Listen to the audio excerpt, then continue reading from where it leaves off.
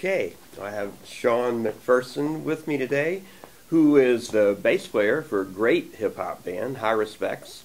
He's also the bass player and band leader for Dessa, Dessa Darling, another great performing group.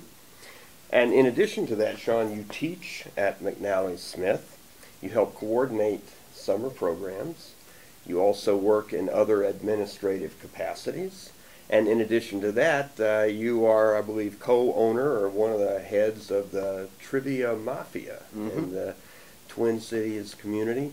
So among all these things, I mean, that's, that's quite a career. Is that a career you would recommend to our students?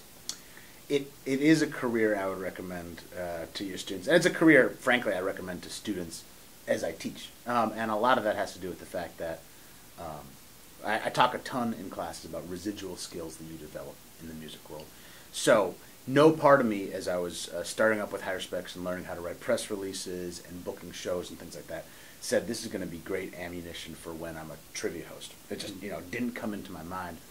But um, I built up this ability to sort of communicate about uh, finances, to communicate about promotions, and to communicate with bar owners, which takes a certain uh, sophistication and unsophistication to make things happen in the bar world. And those type of skills, not everybody gets those. And if you have those and you got them through loving music, at some point you might have to diversify uh, to see something happen. A big uh, thing that I talk about is that as a bass player, by and large, you can really only make money when you're standing somewhere and playing the bass.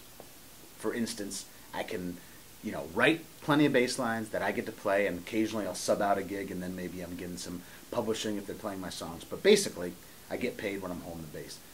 Contrary to that, for something like Trivia Mafia, we have 23 nights that happen every week.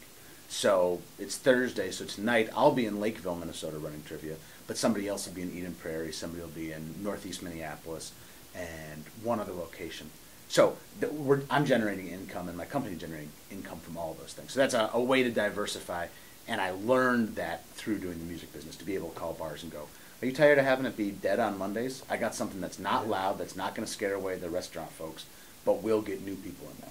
Yeah, well, you know, I call it a career, and I I mean it. It's it's so impressive to me that you're exactly what I, I think the word entrepreneur uh, means and describes, because you've got all these skills, all these things you put together, and you're making a career that's very diverse and really very interesting, and it seems to me very successful. We're an educational institution. What are the skills you think we need to impart to our students? to best prepare them to be entrepreneurial. Maybe their activities are very different than yours, but you piece interesting things together that you like to do and you're making a life out of it. What are the skills we need to give our students? Uh, interpersonal skills is a, is a really big one, and it, it can sort of be a knee-jerk reaction for somebody to say, if you want to be a great dentist, you got to have interpersonal skills, and if you want to be a great engineer, you got to have interpersonal skills. I read a bunch about uh, careers and business things, and everybody says that. Uh, the reason I think it's particularly important uh, for musicians is because there's such a surplus of talented musicians who don't have great interpersonal skills. So what distinguishes me from the pack might be the fact that I'm really great at going. Oh, I'm uh, I'm a great collaborator. So, oh, you didn't you didn't like that part? Let me try something else. Let's work on it this way. Uh, do you want me to come in early and we can get something together? And a lot of times that initiative is really, especially in the ensemble classes I teach, really what I get uh, most excited about in my students. So those students who go, oh yeah, we got together actually on Friday and just went through and redid the chart, so it's super easy for everybody to read. And that's not an assignment I gave out on Wednesday. And you know, more so than uh, what happens in the actual class, to me that demonstrates the initiative that gets you called back for gigs. So there's a lot of people who are really fantastic musicians, but uh, those people who come prepared uh, and those people who come with interpersonal skills uh, really do well.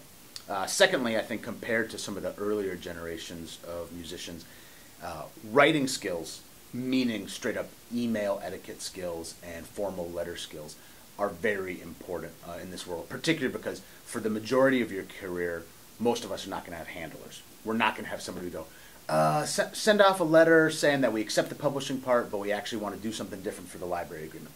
It's not going to happen. So I'm able to save a ton of money by being able to, right up to that point where I have to pay a lawyer, I can just send off the thing and go, uh, you know, we're not we're not comfortable with a blanket license agreement, but we would do one synchronization or something like that. Being able to just get good paragraphs out makes a huge difference. And so I put that in a lot of classes that don't necessarily need to have it. So in our ensemble class, second week of the class is when people bring in a 12 bar piece. The third week of the class, after you've seen a little bit of the promise of the folks you're around, is when you bring in a paragraph saying what you want to get out of the experience. That's very interesting because the skills that you went to right away are things like, uh, you know, showing initiative, being a good writer. Uh, not what what would be the skills though? Those are things you might develop somewhere other than a music school. Sure. You know, showing up on time. Where, the first thing you said, good personal, interpersonal skills. What in a music school are the things that today are most important? If you had to give advice to young music students just coming to McNally Smith, what would you say they need to really pay attention to? Oh, well, that, that's a great question. Yeah, you're right. I definitely gravitated right no, away. it's good. Good answer though. I mean, it's real stuff. You know. Um, a lot of times I get to talk to folks with running the summer programs who say, "What can I do before I show up?" Yeah. So you know, I want to be here in two years. What should I do? And I recommend a website that has a theory test on it, and I can't remember the address off. off I got it on my tabs, but um, my uh, theory instructor at McNally Smith, Andy Fleischer, said, "Oh, here's a great way to just go practice thirds, fifths, sixths, and just listen to them." And so I try to spend ten or fifteen minutes a day doing that, and I recommend that to tons of high school students who have never even really thought about that. And a lot of times, even great band tracked high school students are not actually um, applying their own theory. So they may very well know exactly what a sixth sounds like, but they don't know that it's a sixth. So I say just get on this software and do a little bit of it every day. Um, that's that's sort of the, the, the basic theory, and that can really also save you some money when you get here. Because if you can test out of ear training one, that saves you something.